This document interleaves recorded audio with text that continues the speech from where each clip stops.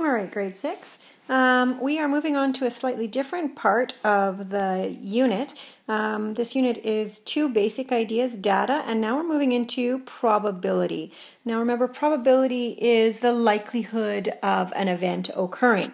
So knowing about probability helps us to compare events to solve problems and to understand the real world. Our concept today is to demonstrate an understanding of the possible outcomes and to determine the theoretical probability of an event. So, those are two key ideas there. Uh, possible outcomes, what are the possible outcomes? And then knowing that, use that to determine the theoretical probability. In theory, how probable is it that this event will occur? How likely? All right, so let's take a look here we have Jamie and Alex who are playing prediction products. Products, remember, we know means to multiply. It's the answer with multiplication. So they take turns rolling two dice, each labeled 1 to 6, so normal dice. If the product, the answer after multiplying, of the two numbers that is rolled is odd, Jamie gets a point. If the product is even, Alexis gets a point. The first person to get 20 points wins. Who would be more likely to win? Well, here's one way to help you predict the winner. Organize the possible outcomes into a table. Each number on a die has an equal chance of being rolled. So it's just as likely you're going to roll a 1, a 2, a 4, a 6, a 3. It doesn't matter. You're just as equally likely to roll each. So from the table, we can see that there are 36 possible outcomes. Altogether, there are 36 possible things you can get. 27 of them are even. So let's just take a quick peek here. Even, even, even, even. These, this row, all of them are even. Here we've got a couple even as well. Again, this entire row is even. Here we have a few even ones as well. And again, this entire row is even. Hmm. I think I would rather be Alexis because uh, it looks like she has a much more likely chance of winning. If there are 27 possible ways for her to, to determine an even product, and for Jamie, there's only nine possible ways to get an odd product. So this can be used, probability can be used to determine if you if this is really a, a, likely probability and, and what should you choose. So if you were given the option knowing what you know now, I think you'd probably choose to be Alexis as opposed to Jamie and choose to uh, have the even answer be the winning um, option. So we can use what we know about probability to help us determine whether or not something's a good choice for us. All right, so we say the probability of getting an even product is 27 out of 36. We write the probability of an even product as a fraction. So we talk about this, this as a fraction. We would write it as 27 out of 36 being the probability of having an even number. The probability of getting an odd product was 9 out of 36, we write the probability of an odd product as 9 over 36. So the probability of having an odd answer is 9 out of 36. Each of these probabilities is a theoretical probability. A theoretical probability is the likelihood that an outcome will happen. So that's what a theoretical probability is. In theory, how likely is it that that outcome will happen? We always communicate theoretical probability in a fraction with the number of favorable outcomes on the top and the number of possible total possible outcomes on the bottom. So the probability that Alexis will win is 27 out of 36. The probability that Jamie will win is 9 out of 36. So as we said, Alexis is more likely to win.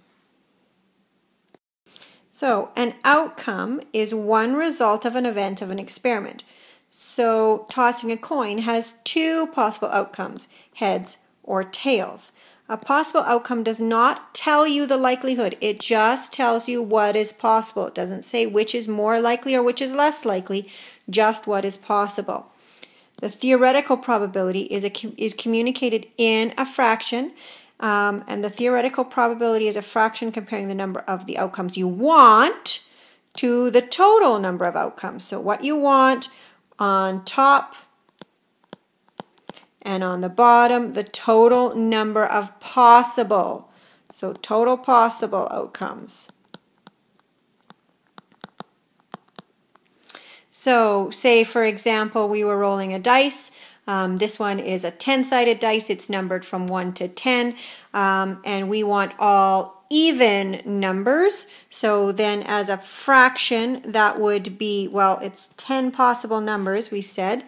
And in there, there were five even numbers, 2, 4, 6, 8, and 10. So our theoretical probability of an even number on a 10-sided dice, or die because I've only got one, would be 5 out of 10.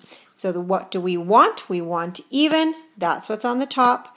What's possible? We uh, Total possible is 10. That's what's on the bottom. Let's take a look at another example to help us with this. Here we have a jar it has five blue marbles, six red marbles, seven green marbles, and seven white marbles. Without looking, without looking being key, a student picks a marble from the jar. When we pick a marble without looking, we say the marble picked is picked at random. So we randomly choose a marble from the, from the jar. First, we need to consider what are the possible outcomes. Well, we could end up with a blue marble, a red marble, a green marble, or a white marble. So then, what is the theoretical probability of picking a green marble? Well, each marble has an equal chance of being picked. There are seven green marbles, so that's the favorable, favorable outcomes. That's what we want. That goes on the top.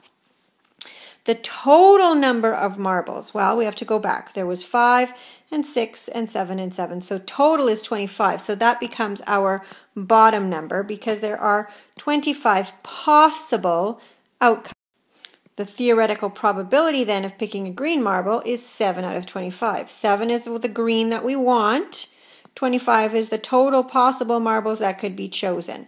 What could we get as an outcome? We could get blue, we could get red, we could get green, we could get white. So that's possible. Um, but there's 25 marble, marbles altogether, so the total possible is 25 different marbles that could be chosen, um, seven of which are green. So the likelihood we would choose seven, sorry, the likelihood we would choose green is seven out of 25. All right, now you get to practice with your elbow partner. Here we have a card game. Uh, these are our cards. You need to determine what are the possible outcomes, what's possible, and how many are there. So, what are they? How many are there? And then, what is the theoretical probability of getting a tree? So, three things you need to do with your elbow partners. Press pause and try those now. All right, well, how many possible outcomes are there? Well, how many cards are there? There's one, two, three, four, five, six, seven, eight. So that means there are eight possible outcomes, eight things that we can pick. Uh, what are they? What could we get? Well, we could get the recycle symbol. We could get the tree. And we could get what looks like a compost box or a box. So what are the possible outcomes? Recycle, symbol, the tree, or the box. So then theoretically, the possibility of getting a tree, well, how many trees are there? Well, there are three trees. And how many possible outcomes are there? Well, there's eight because there is eight cards altogether that we could choose from. So our theoretical probability of getting a tree is three out of eight. Now that you've done that, uh, why don't you try the theoretical probability of the box? What is the likelihood, what is the theoretical probability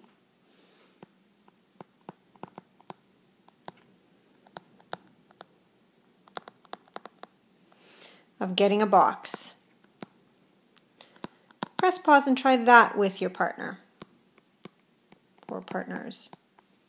Oops, a box, not boxes. Getting a box. All right, again, we know our total is 8. That hasn't changed. The box, how many boxes are there? Well, there's only two. So theoretical probability of getting a box is 2 out of 8. So if I were to choose, um, if my winning card were a tree or a box, I'd prefer my winning card to be a tree because there's more of them.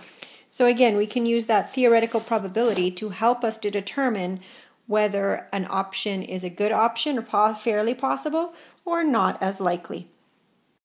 All right, now you're moving on to your concept practice, page 273, 275, numbers 1, 2, 4, 5, and 8. You are working on determining the possible outcomes, what's possible, how many are possible, and then from that, determining the theoretical probability of an event. Uh, remember, of course, if you have questions as you're working, that you let me know. Uh, remember to communicate your theoretical probability in fraction form. Um, away you go.